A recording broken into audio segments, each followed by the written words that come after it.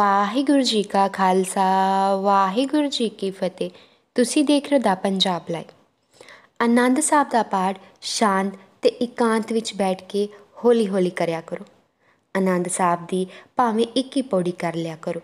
ਇੱਕ ਇੱਕ ਪੌੜੀ ਵਿੱਚ ਹੀ ਇੰਨਾ ਕੁਝ ਬਖਸ਼ਿਸ਼ ਕੀਤਾ ਹੋਇਆ। ਮਹਾਰਾਜ ਨੇ ਵੀ ਤੁਸੀਂ ਇੱਕ ਪੌੜੀ ਇਕੱਲੀ ਪੜ ਲਿਆ ਕਰੋ।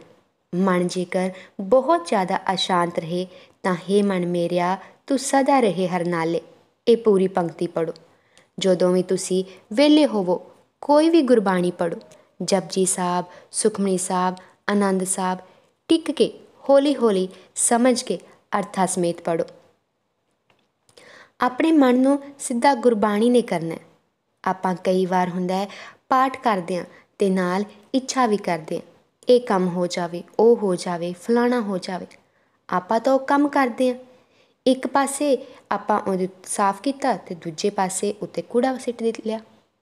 ਆਪਾਂ ਸਿਰ ਮਨ ਦੀ ਸ਼ਾਂਤੀ ਤੇ ਇਕਾਗਰਤਾ ਲਈ ਪਾਠ ਕਰਨਾ ਉਹ ਵੀ ਬਿਨਾਂ ਇੱਛਾ ਰੱਖੇ। ਇਸ ਵਿੱਚ ਖੁਸ਼ੀ ਤੇ ਸ਼ਾਂਤੀ ਮਿਲੇਗੀ।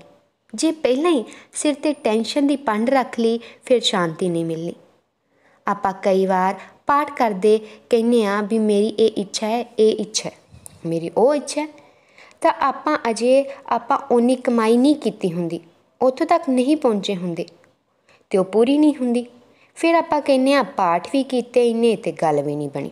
ਇਹੀ ਹੁੰਦਾ ਨਾ, ਕਿਉਂ ਕਰਦੇ ਆ ਇੱਛਾ? ਇੱਛਾ ਕਾਮਨਾ ਕਰਕੇ ਤਾਂ ਇੱਕ ਇੱਛਾ ਪੂਰੀ ਹੋਣੀ ਹੈ ਵੀ ਬਾਬਾ ਜੀ ਮੇਰੀ ਆ ਇੱਛਾ ਪੂਰੀ ਕਰ ਦਿਓ। ਤੇ ਜੇ ਸਿਰਫ ਵਾਹਿਗੁਰੂ ਐਵੇਂ ਕਰਨ ਵੀ ਤੁਹਾ, ਆਪਾਂ ਸਿਰਫ ਵਾਹਿਗੁਰੂ ਦਾ ਨਾਮ ਲੈ ਕੇ ਸਰਬੱਤ ਦਾ ਭਲਾ ਮੰਗੀਏ, ਤਾਂ ਵਾਹਿਗੁਰੂ ਸਭ ਕਾਮਨਾ ਪੂਰੀਆਂ ਕਰਨਗੇ। ਇਸ ਲਈ ਗੁਰਬਾਣੀ ਜਪਦੇ ਕਾਮਨਾਵਾਂ ਨਾ ਕਰੋ। ਫਿਰ ਵਾਹਿਗੁਰੂ ਸਾਰੀਆਂ ਪੂਰੀਆਂ ਕਰਦੇ ਨੇ। ਨਾਲ ਹੀ ਮਨ ਨੂੰ ਸ਼ਾਂਤੀ ਵੀ ਮਿਲਦੀ ਹੈ। ਇਸ ਲਈ ਗੁਰਬਾਣੀ ਨੂੰ ਹੌਲੀ-ਹੌਲੀ ਵਿਚਾਰੋ, ਗਾਓ ਪੜੋ ਤੇ ਜ਼ਿੰਦਗੀ ਦੇ ਵਿੱਚ ਉਹਦਾ ਅਮਲ ਕਰੋ। ਜਦੋਂ ਆਪਣੀ ਭਾਵਨਾਵਾਂ ਤੇ ਸ਼ਰਧਾ ਇੱਕ ਥਾਂ ਟਿਕੀ ਹੋ ਹੋਏਗੀ ਨਾ, ਤਾਂ ਆਪੇ ਮਨ ਨੂੰ ਸ਼ਾਂਤੀ ਮਿਲਣ ਲੱਗ ਜਾਣੀ ਹੈ। ਭਾਵੇਂ ਮੂਲ ਮੰਤਰ ਦਾ ਹੀ ਜਾਪ ਕਰੀ ਜਾਇਆ ਕਰੋ। ਜੋ ਕਹਿੰਦੇ ਨੇ ਸਾਨੂੰ ਗੁਰਬਾਣੀ ਪੜ੍ਹਨੀ ਨਹੀਂ ਆਉਂਦੀ ਜਾਂ ਸਾਨੂੰ ਪੜ੍ਹਨਾ ਨਹੀਂ ਆਉਂਦਾ, ਉਹ ਮੂਲ ਮੰਤਰ ਦਾ ਜਾਪ ਤਾਂ ਕਰ ਹੀ ਸਕਦੇ ਨੇ, ਕਿਉਂਕਿ ਉਸ ਦੇ ਵਿੱਚ ਤਾਂ ਕੋਈ ਔਖਾ ਨਹੀਂ ਹੈਗਾ। ਉਹ ਤਾਂ ਆਪਾਂ ਬੋਲ ਬੋਲ ਕੇ ਆਪਾਂ ਨੂੰ ਆਪ ਹੀ ਆਪਣੇ ਕੰਠ ਹੋ ਜਾਏਗਾ। ਪਰ ਕਰੋ, ਕੋਈ ਵੀ ਕਰੋ, ਗੁਰਬਾਣੀ ਵਾਲੇ ਪਾਸੇ ਲੱਗੋ। ਮਨ ਹਮੇਸ਼ਾ ਪਰੇਸ਼ਾਨੀਆਂ ਵਿੱਚ ਰਹਿੰਦਾ ਅਤੇ ਫਿਰ ਭੱਜਦਾ ਫਿਰਦਾ ਕਦੇ ਇੱਧਰ, ਕਦੇ ਉੱਧਰ। ਇਸ ਦਾ ਭੱਜਣਾ ਹੀ ਮਾਇਆ ਹੈ ਤੇ ਮਨ ਦਾ ਟਿਕਣਾ ਹੀ ਵਾਹਿਗੁਰੂ ਹੈ। ਕਿਉਂਕਿ ਮਨ ਹੀ ਸਾਰੀਆਂ ਸ਼ਕਤੀਆਂ ਦਾ ਮਾਲਕ ਹੈ। ਮਨ ਦੀ ਸਮਰੱਥਾ ਬਹੁਤ ਜ਼ਿਆਦਾ ਹੈ। ਜੇ ਮਨ ਨੂੰ ਕਿਤੇ ਵੀ ਭੇਜ ਦੋ, ਇਹ ਉੱਥੇ ਜਾ ਮੁੜ ਆਉਂਦਾ ਜਿਵੇਂ ਆਪਾਂ ਇੱਥੇ ਬੈਠੇ ਹਾਂ, ਕਿਸੇ ਚੀਜ਼ ਬਾਰੇ ਸੋਚੀਏ ਤੇ ਮਨ ਉੱਥੇ ਭੱਜਿਆ ਭੱਜਿਆ ਜਾਂਦਾ ਉਹ ਆ ਜਾਂਦੀ ਨਾ ਚੀਜ਼ ਮਨ ਦੇ ਵਿੱਚ, ਐਵੇਂ ਹੀ ਹੈ। ਇਹ ਉੱਥੇ ਜਾਂਦਾ ਮਨ ਕਿਤੇ ਵੀ ਚਲਾ ਜਾਂਦਾ ਮਨ ਦੀ ਸਮਰੱਥਾ ਬਹੁਤ ਜ਼ਿਆਦਾ ਹੈ। ਜਦੋਂ ਮਨ ਅੰਦਰ ਪਾਠ ਕਰਨ ਲੱਗ ਜਾਂਦਾ ਹੈ, ਇਹ ਫਿਰ ਅੰਦਰ ਕੋਈ ਵੀ ਫਿਕਰ ਨਹੀਂ ਰਹਿੰਦੀ। ਇੱਕ ਤਾਂ ਆਪਾਂ ਆਪਣੀ ਜ਼ੁਬਾਨ ਰਾਹੀਂ ਕਰਦੇ ਹਾਂ, ਇੱਕ ਅੰਦਰ ਹੀ ਅੰਦਰ ਚੱਲਦਾ ਰਹਿੰਦਾ ਪਰ ਜਦੋਂ ਆਪਾਂ ਸਰੀਰ ਦੀ ਸ਼ਮਤਾ ਨਾਲ ਪਾਠ ਕਰਦੇ ਹਾਂ, ਉਦੋਂ ਆਪਾਂ ਕਹਿੰਦੇ ਆ ਵੀ ਮੈਂ ਇੰਨਾ ਪਾਠ ਕਰ ਥੱਕ ਗਿਆ। ਕਿਉਂ? ਚੌਂਕੜਾ ਲਾ ਕੇ ਬੈਠੀ ਦਾ ਤੇ ਸਰੀਰ ਸ਼ਮਤਾ ਜਿੰਨੀ ਕੁ ਹੋਏਗੀ ਉਨੀ ਹੀ ਹੋਣੀ ਹੈ। ਜਦੋਂ ਆਪਾਂ ਇੱਕ ਮਨ ਹੋ ਕੇ ਅਭਿਆਸ ਕਰਦੇ ਹਾਂ, ਤਾਂ ਪਰਮਾਤਮਾ ਰੂਪ ਹੋ ਜਾਂਦਾ ਮਨ। ਆਪਾਂ ਜਿਹਨੂੰ ਸੁੱਖ ਕਹਿੰਦੇ ਆ ਇਹ ਸੁੱਖ ਨਹੀਂ ਹਨ, ਇਹ ਬਿਮਾਰੀਆਂ ਨੇ। ਆਪਾਂ ਪੈਸਿਆਂ ਜਿਹਦੇ ਪਿੱਛੇ ਭੱਜਦੇ ਪਿਆ ਕਿੰਨਾ ਕੁ ਸਮਾਂ ਤੁਹਾਨੂੰ ਸੁੱਖ ਦੇ ਦੇਣਗੇ? ਕਈ ਇੰਨੇ ਜਿਨ੍ਹਾਂ ਕੋਲ ਸੁੱਖ ਸੁਵਿਧਾ ਨੇ, ਉਹਨਾਂ ਕੋਲ ਵੀ ਮਨ ਦੀ ਸ਼ਾਂਤੀ ਨਹੀਂ ਹੈ। ਜਦੋਂ ਆਪਣੇ ਮਨ ਉਤੇ ਅੰਮ੍ਰਿਤ ਦੀ ਵਰਖਾ ਹੋਏਗੀ, ਗੁਰਬਾਣੀ ਦੀ ਵਰਖਾ ਹੋਣੀ ਹੈ, ਤਾਂ ਆਪੇ ਮਨ ਟਿਕ ਜਾਣਾ ਆਪਣੀ ਅਰਦਾਸ ਆਪ ਕਰਿਆ ਕਰੋ हे ਪਾਤਸ਼ਾਹ, ਸਾਰੀ ਦੁਨੀਆ ਦਾ ਭਲਾ ਕਰੋ। ਗੁਰਬਾਣੀ ਹਮੇਸ਼ਾ ਵਿਚਾਰ ਕੇ ਪੜੋ ਅਤੇ ਮਨ ਨੂੰ ਆਪਣੇ ਨੂੰ ਸਮਝਾਓ ਅਤੇ ਮਨਾਓ। ਇਹ ਜੋ ਸਾਰੀ ਕੁਦਰਤ ਹੈ ਨਾ, ਇਹ ਵਾਹਿਗੁਰੂ ਨੇ ਰਚੀ ਜਿਸ ਨੂੰ ਮਾਤਾ ਜਾਂਦੀ ਹੈ, ਉਹ ਫਿਰ ਗੁਰਮਤ ਧਾਰਨ ਕਰਦਾ ਆਪਣੇ ਵਿੱਚੋਂ ਕਈ ਭੱਜਦੇ ਫਿਰਦੇ ਨੇ ਕਿ ਜਾਮਨਾ ਮੈਨੂੰ ਲੈ ਜਾਣ ਜਾਮਨਾ ਮੈਨੂੰ ਲੈ ਜਾਣ, ਐਵੇਂ ਹੁੰਦਾ ਨਾ।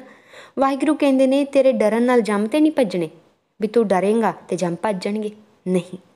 ਆਪਣੇ ਵਿੱਚੋਂ ਸਾਰੇ ਜਣੇ ਐਵੇਂ ਕਹਿੰਦੇ ਨੇ ਵੀ ਨਰਕ ਤੇ, ਨਰਕ ਤੋਂ ਡਰਦੇ ਨੇ ਤੇ ਸਵਰਗ ਮਿਲੇ। ਐਵੇਂ ਹੁੰਦਾ ਨਾ ਸਾਰੇ ਕਹਿੰਦੇ ਨੇ, ਨਾ ਜੀ ਨਰਕ ਨਾ ਮਿਲੇ, ਸਵਰਗ ਹੀ ਮਿਲੇ।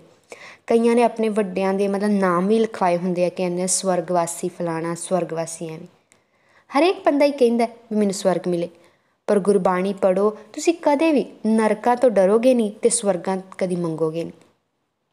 ਕਿਉਂਕਿ ਗੁਰਬਾਣੀ ਵਿੱਚ ਐਸਾ ਰਸ ਹੈ। ਉਹ ਤੁਸੀਂ ਆਪੇ ਡਰ ਰਹਿਤ ਹੋ ਜਾਓਗੇ ਨਿਰਪੋ ਹੋ ਜਾਓਗੇ। ਗੁਰੂ ਗ੍ਰੰਥ ਸਾਹਿਬ ਜੀ ਨਾਲ ਜੁੜੋ। ਗੁਰੂ ਗ੍ਰੰਥ ਸਾਹਿਬ ਜੀ ਨਾਲ ਜੁੜੋਗੇ, ਸਹਿਜ ਆ ਜਾਵੇਗਾ। ਅੱਜ ਜੋ ਪਰੇਸ਼ਾਨੀਆਂ ਨੇ ਨਾ, ਤਾਂ ਹੀ ਨੇ ਕਿ ਆਪਾਂ ਆਪਣੇ ਮੂਲ ਤੋਂ ਦੂਰ ਆ। ਜੇ ਸਹਿਜ ਚਾਹੀਦਾ ਹੈ, ਸ਼ਾਂਤੀ ਚਾਹੀਦੀ ਹੈ, ਤੇ ਗੁਰਬਾਣੀ ਨਾਲ ਤਾਂ ਜੁੜਨਾ ਪੈਣਾ। ਪੁਰਾਣਾ ਸਮਾਂ ਕੀ ਹੁੰਦਾ ਸੀ? ਵੀ ਲੋਕ ਨਾ ਬਹੁਤ ਬਹੁਤ ਸਫ਼ਰ ਪੈਦਲ ਕਰਦੇ ਸੀ। ਇੱਕ ਵਾਰ ਕੀ ਹੁੰਦਾ ਹੈ ਕਿ 8-10 ਜਣੇ ਸ੍ਰੀ ਗੁਰੂ ਅਰਜਨ ਦੇਵ ਜੀ ਦੇ ਦਰਸ਼ਨ ਕਰਨ ਲਈ ਜਾਂਦੇ ਆ। ਤੇ ਉਹ ਜੰਗਲ ਦਾ ਰਸਤਾ ਵੀ ਅੱਗ ਵਿੱਚ ਆਉਂਦਾ ਹੁੰਦਾ ਸੀ। ਉਹ ਜਦੋਂ ਜਾਂਦੇ ਆ, ਤਾਂ ਉਹ ਜਿਸ ਰਸਤੇ ਤੇ ਜਾ ਰਹੇ ਹੁੰਦੇ ਆ, ਅੱਗੋਂ ਇੱਕ ਸੱਪ ਆ ਜਾਂਦਾ। ਉਹ ਉਹ ਰਸਤਾ ਬਦਲ ਕੇ ਦੂਜੇ ਪਾਸੇ ਹੋ ਜਾਂਦੇ ਆ। ਕੀ ਹੁੰਦਾ ਕਿ ਉਹ ਸੱਪ ਵੀ ਆਪਣਾ ਰਸਤਾ ਬਦਲ ਕੇ ਉਸ ਰਸਤੇ ਆ ਜਾਂਦਾ। ਉਹ ਫਿਰ ਅਗਲੇ ਤੀਸਰੇ ਰਸਤੇ ਹੁੰਦੇ ਆ, ਉਹ ਫਿਰ ਅੱਗੇ ਰਸਤਾ ਬਦਲ ਕੇ ਆ ਜਾਂਦਾ। ਉਹਨਾਂ ਵਿੱਚੋਂ ਇੱਕ ਜਣਾ ਕਹਿੰਦਾ ਹੈ ਵੀ ਆਪਾਂ ਗੁਰੂ ਅਰਜਨ ਦੇਵ ਜੀ ਦੇ ਦਰਸ਼ਨ ਕਰਨ ਚੱਲੇ ਆ ਇਹ ਸੱਪ ਵੀ ਕੀ ਪਤਾ ਅਰਦਾਸ ਕਰਦਾ ਪਿਆ ਹੋਵੇ ਵੀ ਮੈਨੂੰ ਵੀ ਨਾਲ ਲੈ ਜਾਓ। ਬਾਕੀ ਸਾਰੇ ਜਣੇ ਚੁੱਪ ਹੋ ਗਏ। ਤਾਂ ਉਹ ਜੋ ਗੁਰਮੁਖ ਸੀ, ਉਹਨੇ ਕੀ ਕੀਤਾ ਕਿ ਇੱਕ ਉਥੇ ਘੜਾ ਪਿਆ ਸੀ ਉਹ ਲਿਆਂਦਾ। ਉਹ ਘੜਾ ਲਿਆ ਕੇ ਤੇ ਕਿਹਾ, ਜੋ ਸੱਪ ਸੀ, ਉਹਦੇ ਸਾਹਮਣੇ ਰੱਖ ਦਿੱਤਾ। ਤੇ ਉਹਨਾਂ ਨੂੰ ਕਿਹਾ ਵੀ ਜੇ ਤੇਰਾ ਦਿਲ ਕਰਦਾ ਹੈ ਨਾ ਵੀ ਗੁਰੂ ਅਰਜਨ ਦੇਵ ਜੀ ਦੇ ਦਰਸ਼ਨ ਕਰਨ ਤੇ ਤੇ ਘੜੇ ਦੇ ਵਿੱਚ ਆ ਜਾ। ਉਹਨਾਂ ਦੇ ਕੋਲ ਜਾ ਕੇ ਰੱਖ ਦਿੱਤਾ ਅੱਗੇ ਤੇ ਨਾਲੇ ਕਿਹਾ ਵੀ ਜੇ ਦਿਲ ਕਰਦਾ ਪਿਆ ਵੀ ਤੇਰਾ ਵੀ ਗੁਰੂ ਅਰਜਨ ਦੇਵ ਜੀ ਦੇ ਦਰਸ਼ਨ ਕਰਨ ਦੇ ਤੇ ਆ ਜਾ। ਤੂੰ ਇਸ ਦੇ ਵਿੱਚ। ਉਹ ਆ ਗਿਆ। ਉਧਰ ਉੱਤੇ ਟੱਕਣ ਦੇ ਕੇ ਇੱਕ ਕੱਪੜੇ ਨਾਲ ਬੰਨ ਲਿਆ ਤੇ ਉਹਨੇ ਆਪਣੇ ਸਿਰ ਤੇ ਚੁੱਕ ਲਿਆ।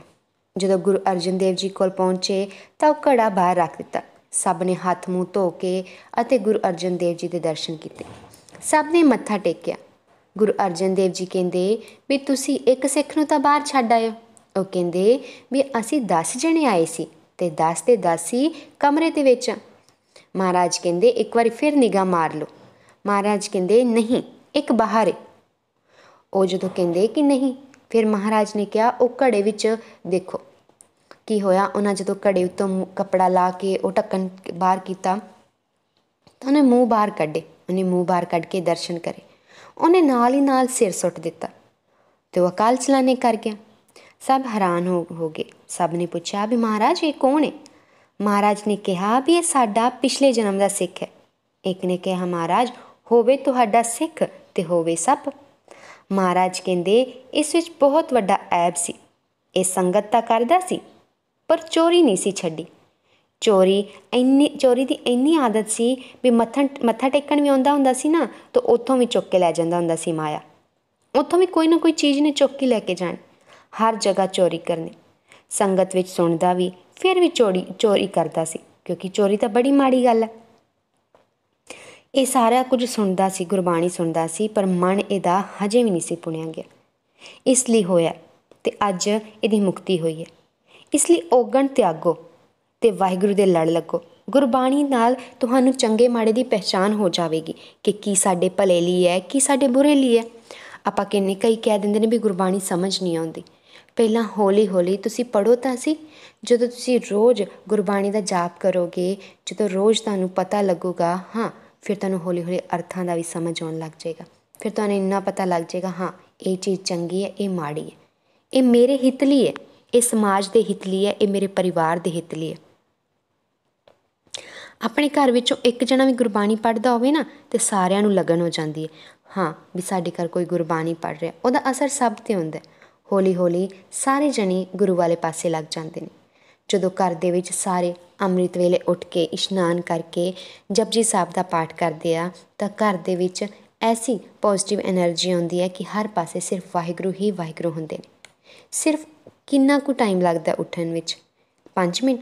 5 ਮਿੰਟ ਤੋਂ ਬਾਅਦ ਆਪਾਂ ਨੂੰ ਪਤਾ ਵੀ ਨਹੀਂ ਹੁੰਦਾ ਕਿ ਆਪਾਂ ਬਹੁਤ ਜਲਦੀ ਉੱਠੇ ਆ। ਇਸ ਲਈ ਵਾਹਿਗੁਰੂ ਦਾ ਨਾਮ ਲਓ, ਕਿਉਂਕਿ ਉਹ ਵਾਹਿਗੁਰੂ ਨਹੀਂ ਤਾਰਨਾ ਅੱਜ ਆਪਾਂ ਇੰਨੀਆਂ ਪਰੇਸ਼ਾਨੀਆਂ, ਕਹਿੰਦੇ ਆ ਨਾ ਵੀ ਇੰਨੀ ਸਮੱਸਿਆ ਹੈ, ਪਰਿਵਾਰ ਵਿੱਚ ਹੈ ਧੰਦੇ ਵਿੱਚ ਹੈ ਜਾਂ ਕਿਤੇ ਵੀ ਹੈ, ਤਾਂ ਫਿਰ ਜਦੋਂ ਆਪਾਂ ਗੁਰਬਾਣੀ ਤੇ ਲੜ ਲੱਗ ਗਏ ਨਾ, ਤਾਂ ਦੇਖਿਓ ਆਪੇ ਸਭ ਸਹੀ ਹੋ ਜਾਣਾ ਕਿਉਂਕਿ ਗੁਰਬਾਣੀ ਸਿਖਾਉਂਦੀ ਹੈ, ਜੇ ਕਿਸੇ ਦੇ ਕੰਮ ਵਿੱਚ ਕੋਈ ਬਰਕਤ ਨਹੀਂ ਹੋ ਰਹੀ, ਤਾਂ ਗੁਰਬਾਣੀ ਕਹਿੰਦੀ ਹੈ, ਇਮਾਨਦਾਰੀ ਦੀ ਕਿਰਤ ਕਰ। ਦੇਖੀ, ਫਿਰ ਆਪੇ ਤੇਰਾ ਕਿਵੇਂ ਸਾਰਾ ਕੰਮ ਸਹੀ ਹੁੰਦਾ। ਇਸ ਲਈ ਜਦੋਂ ਗੁਰਬਾਣੀ ਪੜ੍ਹਦੇ ਆ ਆਪਣੇ ਜੀਵਨ ਨੂੰ ਇੱਕ ਸੇਧ ਮਿਲਦੀ ਹੈ। ਆਪਣੇ ਜੀਵਨ ਨੂੰ ਇੱਕ ਚੰਗੀ, ਉੱਚਾ ਪੱਧਰ ਤੇ ਆਪਾਂ ਨੂੰ ਜਾ ਕੇ ਸਿਖਲਾਈ ਮਿਲਦੀ ਹੈ। ਇਸ ਲਈ ਆਪਣੇ ਜੀਵਨ ਪੱਧਰ ਨੂੰ ਉੱਚਾ ਚੁੱਕਣ ਲਈ ਗੁਰਬਾਣੀ ਪੜ੍ਹੋ। ਜਦੋਂ ਗੁਰਬਾਣੀ ਪੜਾਂਗੇ ਨਾ, ਦੇਖਿਓ ਜੀਵਨ ਕਿਵੇਂ ਖੁਸ਼ਹਾਲ ਹੁੰਦਾ ਅੱਜ ਜੋ ਇੰਨੇ ਕਲੇਸ਼ ਲੜਾਈਆਂ ਨੇ ਨਾ, ਇਹ ਕਿਉਂ ਨੇ? ਆਪਣੇ ਸੁਭਾਅ ਕਰਕੇ। ਤੇ ਗੁਰਬਾਣੀ ਕੀ ਕਹਿੰਦੀ ਹੈ ਕਿ ਆਪਣਾ ਸੁਭਾਅ ਬਦਲ। ਨਿਮਰਤਾ ਲੈ ਕੇ ਆ। ਜਿਸ ਦਿਨ ਤੇਰੇ ਸੁਭਾਅ ਵਿੱਚ ਨਿਮਰਤਾ ਆ ਗਈ, ਤੇਰੇ 80% ਸਾਰੇ ਕਲੇਸ਼ ਦੁੱਖ ਆਪੇ ਦੂਰ ਹੋ ਜਾਣੇ ਤੇ ਹੌਲੀ ਹੌਲੀ ਵਾਹਿਗੁਰੂ ਦਾ ਨਾਮ ਲੈਂਦਿਆਂ ਸਾਰੇ ਦੁੱਖ ਕਲੇਸ਼ ਦੂਰ ਹੋ ਜਾਣਗੇ। ਲੋੜ ਹੈ ਗੁਰਬਾਣੀ ਦੇ ਲੜ